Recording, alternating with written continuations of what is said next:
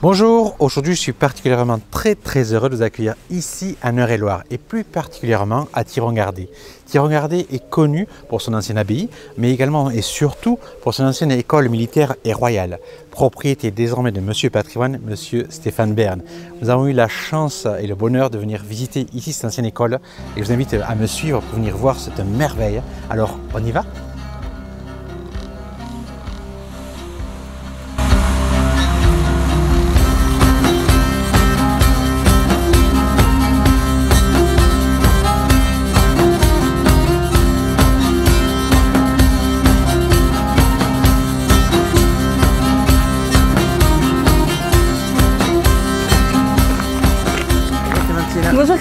Bienvenue. Merci beaucoup de nous accueillir ici. Mais je vous en prie, c'est un plaisir. Je suis vraiment ravi de découvrir ce lieu que je rêvais de voir depuis longtemps maintenant, enfin depuis quelques années, depuis que notre cher ami Stéphane Bern a racheté euh, ce lieu et, et l'a ouvert au public. Je trouve ça fabuleux. Effectivement, il l'a racheté il n'y a pas très longtemps, en 2013. Il a entamé des, ta- des travaux de restauration dès 2014 et on a rouvert bah, en 2016. Donc ça fait notre troisième année. Troisième année. Ben Mm. voilà, je suis content d'être là. On Ah. visite? Avec grand plaisir, merci beaucoup en tout cas. Je vous en prie. Donc là, Clémentine, nous sommes dans les jardins. On voit très très bien le superbe clocher de l'église abbatiale, c'est cela? Oui, c'est ça. C'est ça, effectivement, puisque le collège dépendait de l'ordre de Tiron. Donc finalement, le- au collège, tout commence de l'autre côté du mur quand l'ordre s'installe. Et l'ordre s'installe avec Bernard de Pontieux en 1114. D'accord. donc oui. dès le XIIe siècle. Et cette belle abbatiale que vous voyez, eh bien, elle date du XIIe siècle, elle a perduré.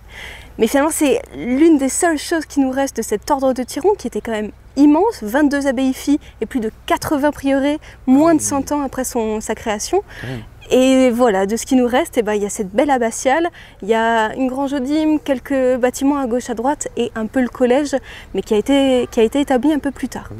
L'église abbatiale, je suis rentré tout à l'heure. La nef est immense, c'est vraiment, euh, c'est impressionnant. Et en Ouais. plus, il en manque une partie, si j'ai bien compris. Effectivement, il, il en manque une partie. Avant, si on était venu il y a 400 ans, on aurait pu voir un immense chœur gothique donc qui avançait de 25 mètres vers nous, qui avait 25 mètres de large et une trentaine de mètres de hauteur. Donc c'est quand même assez, assez conséquent. Ah oui, Et malheureusement, il s'est effondré au, au début du 19e siècle. On pourra peut-être en parler un peu plus tard. D'accord. Mais c'est vrai que l'ordre de Tiron, un peu comme le clocher, s'est effondré finalement assez rapidement. D'accord, ce qui est dommage. Mm. Et là, on voit donc, on voit les bâtiments, on voit ce superbe jardin, on voit. Et donc, ça a été devenu très rapidement une école, c'est cela? Alors très rapidement, pas forcément. L'école s'est vraiment développée en 1630 euh, avec un homme, Henri de Bourbon-Verneuil, qui a été le fils naturel de Henri IV. D'accord. Et euh, il a donc développé le, le collège euh, sous l'impulsion de la congrégation des bénédictins de Saint-Maur, qui ont repris euh, le complexe de l'abbaye pour finalement le redynamiser. Et c'est avec euh, donc ces, ces deux personnalités, Henri de Bourbon-Verneuil en tant qu'abbé, qu'on décide de développer le collège et de- d'encourager l'éducation des jeunes nobles sans le sou des environs.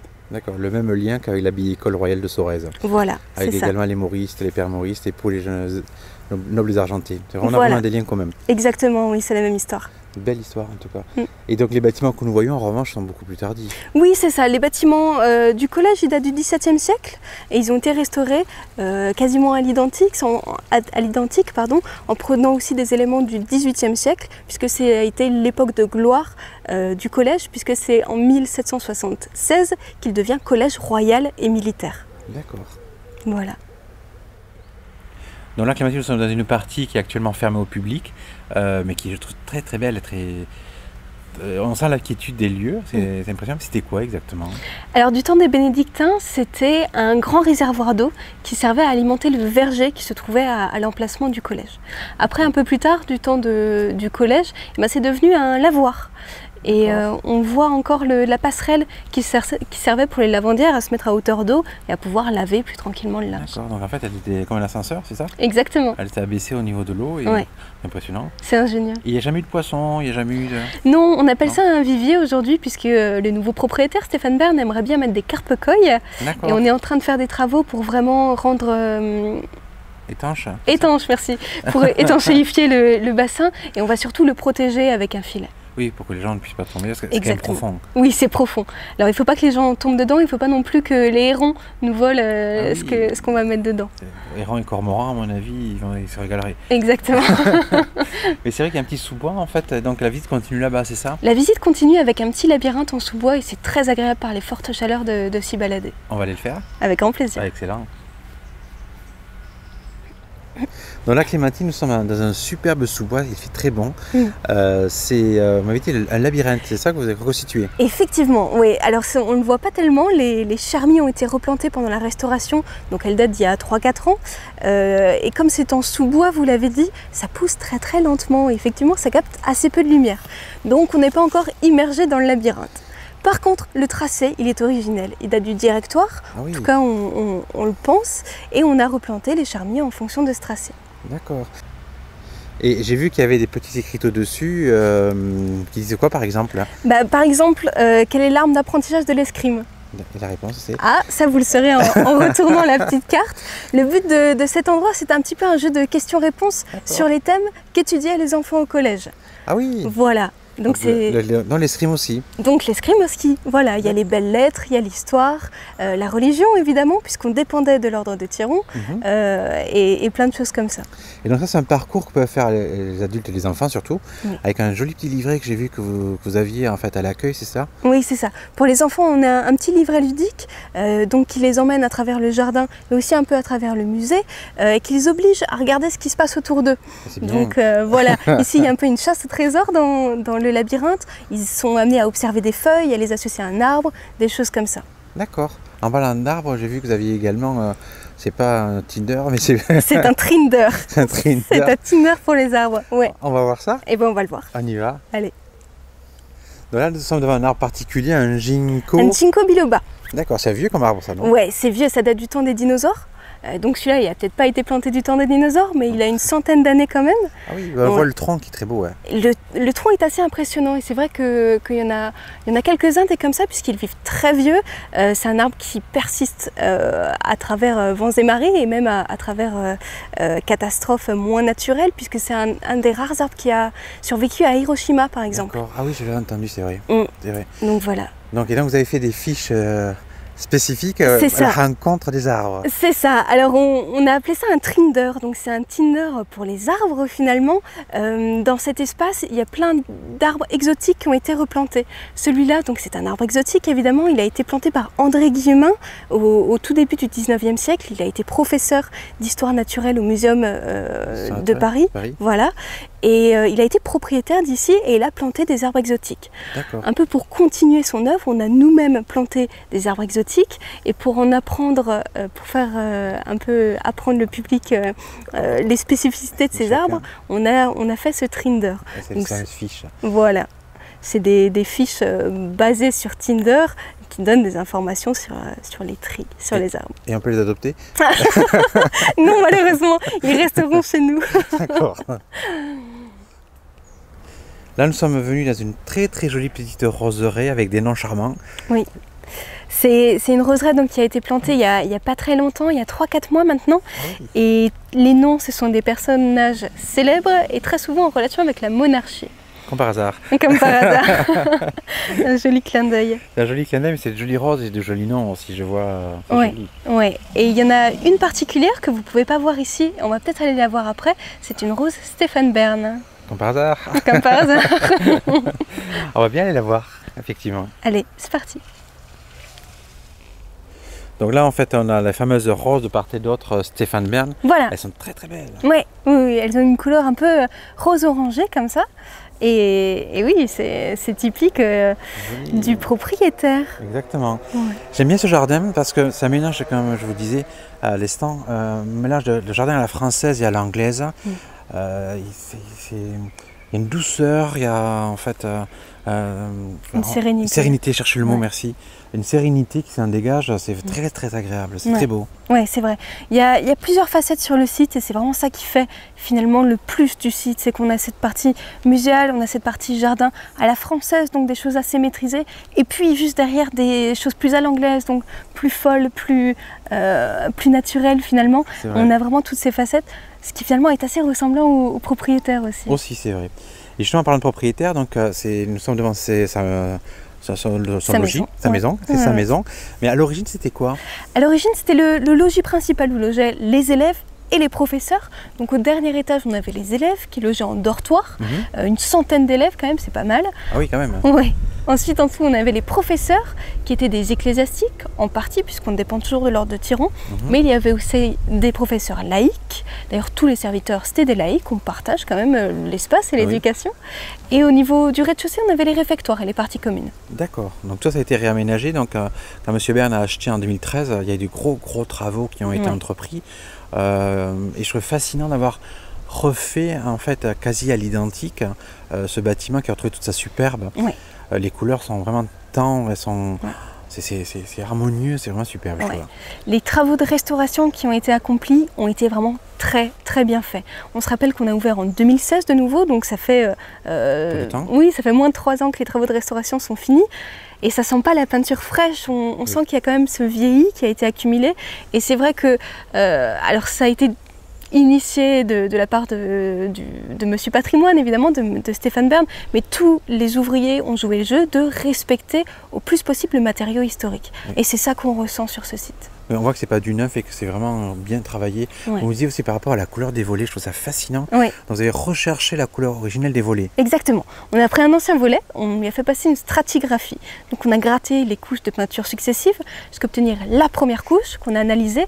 On a trouvé ce gris de zinc, donc c'est un- une couleur très claire, légèrement verdâtre, et euh, qui s'harmonise avec l'enduit, que vous voyez, l'enduit lisse, Oui. qui était complètement euh, tombé. Vous voyez la, la- la brique au travers, et qui s'harmonise aussi avec les pierres d'angle, les pierres de taille, qui elles sont des pierres calcaires. D'accord.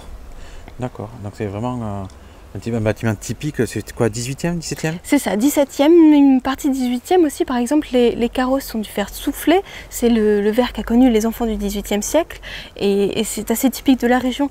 Euh, le musée, par exemple, c'est un bâtiment rural qu'on dirait par opposition au bâtiment royal euh, qui était le logis. Le bâtiment rural, rural, on voit cette pierre qui est un grès roussard, donc euh, une pierre assez rouge, riche en, en oxyde de fer et typique de la région. On voit vraiment les, les différences des, des deux architectures et des deux façons de faire en fait. D'accord. En même temps, euh, vous voulez dire dans un bâtiment royal, donc Monsieur Bern qui habite un bâtiment royal, Mm. c'est génial. Oui, bah ça- oui, Je trouve ça excellent. il est dans son élément finalement. Personnellement, c'est- je le Ouais. comprends. j'adore- J'adorerais aussi. Ouais. Je trouve ça excellent. Ouais, on, parlait du musée, on l'a pas encore vu. On, on- on va le voir. Bah oui, bien sûr, C'est quand même l'histoire du, du- du lieu. évidemment. On y va. Allez. Donc là, Clémentine, nous sommes devant la maquette euh, de ce que fut, euh, c'est ça, la- l'abbaye du Tyran. Oui, effectivement, c'est devant cette maquette qu'on se rend compte à quel point elle était grande, elle était euh, finalement étendue. Puisqu'aujourd'hui, il ne nous reste pas grand-chose. Tous les bâtiments en gris, c'est ce qui reste. Alors, vous voyez qu'il y a le- les anciennes salles de classe, il y a la nef de cette belle abbatiale qu'on peut voir, euh, la Grange Odime au loin, une pharmacie, un pigeonnier, des choses comme ça. Euh, mais cet énorme cœur gothique, tout ce cloître, tout ça a complètement disparu. D'accord. Et donc les bâtiments en gris foncé, c'est ceux qui perdurent, ceux que nous pouvons voir encore de nos jours. Effectivement. Et euh, actuellement, on est dans celui-là, les anciennes salles de classe. Ici, là, devant? Celui derrière. devant. Voilà. D'accord. Donc ici, c'était les salles de classe. Ouais. D'accord. Et un, un- un bâtiment qui a également été restauré, évidemment, pendant la restauration. Euh, D'ailleurs, on peut voir, si on lève la tête, le très joli plafond à la française qui a été fait. Et on voit ces solives peintes, donc ces poutres peintes, qui ont été très bien refaites. Il faut savoir que 70% du bois de cet édifice est d'origine. Ah oui. Si vous voulez, vous pouvez essayer de, de deviner quelles solives sont d'origine et lesquelles euh, sont plus ou moins neuves. On peut essayer de voir. Ouais. Donc là, nous sommes au cœur du collège royal et militaire. Effectivement, donc toujours dans les anciennes salles de classe. Et euh, on a portrait. derrière moi un portrait de Louis XVI qui a recherché, lui, des établissements qui pouvaient préparer à son école militaire de Paris. Il a donc décidé de sélectionner 12 euh, collèges qui sont devenus des collèges royaux et militaires. D'accord. Voilà. Et on a donc des costumes, donc des, c'est ça, en fait, des uniformes, pardon. Voilà, c'est ça, des, des uniformes. Donc le musée euh, explore un peu toutes les, toutes les facettes de la vie d'un étudiant euh, ici. Alors de, sa, de son, son uniforme, effectivement, de son trousseau, tout ce qu'il doit emmener. C'est bien différent de ce que les gens emmènent de nos jours euh, au collège. Exactement.